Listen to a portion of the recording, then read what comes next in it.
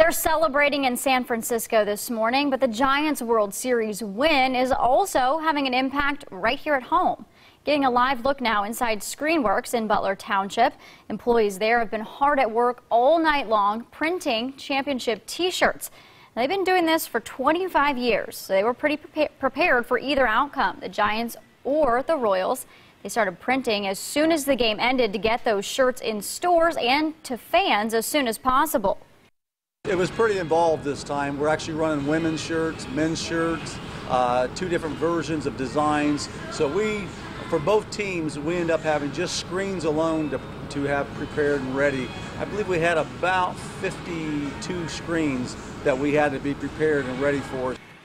This year, the company is printing for an internet company as well as its regular distributors.